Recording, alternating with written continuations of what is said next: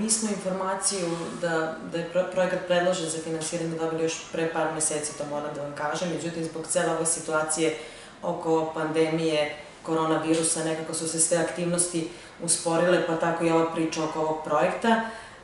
prošle nedelje je zvanično potpisan ugovor e, sa upravljačkim telom Interegipa programa prekogranične saradnje Bugarska-Srbije sa sedištem u Sofiji i mi smo zvanično krenuli sa realizacijom ovog projekta koji će trajati narednih 18 meseci. E, ono što želim da kažem je da je ovo još jedan projekat koji će značajno unaprediti sportsku infrastrukturu u, u gradu, e,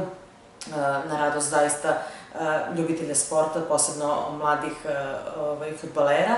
jer ćemo ovim projektom obezbediti zaista modern teren sa veštačkom travom, sa pratećim sadržajem, koji uključuje znači mini atletsku stazu, plato i rasvetu koja će biti obezbeđena kroz ovaj projekat, a, inače sredstva dodatna za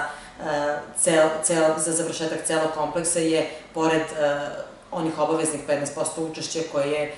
sam program IPA Interreg uključuje, je grad izdvojio dodatno. Ukupna vrednost projekta je oko 690.000 evra, gde je 415.000 deo koji, koji je, se odnosi na realizaciju projekta grada Pirota. Projekat gde je grad Pirot vodeći partner realizujemo u saradnji sa našim proverenim partnerom, to je opština Montana iz Bugarske, koji će takođe raditi na unapređenju sportske infrastrukture u svom gradu, rade oni jedan teren u obližnjem selu, znači projekat koji se tiče i sportsko-ruralnog sadržaja, tako da imaćemo u okviru ove, ovog projekta i neke aktivnosti koje će unaprediti kapacitete i bolju povezanost mladih koji se bave u sportu, a to je nešto što, što je isto osnova za dalji razvoj projekata koji se tiču